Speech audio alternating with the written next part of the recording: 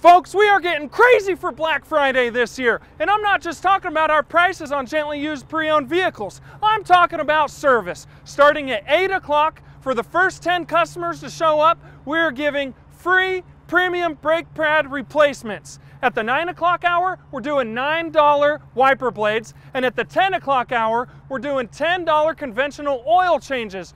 What? Did I mention the $30 headlight restoration? That's just crazy. Who does that? We do that. So forget shopping at the mall this Black Friday. Show up bright and early at Larry H. Miller Used Car Supermarket in Sandy, driven by you.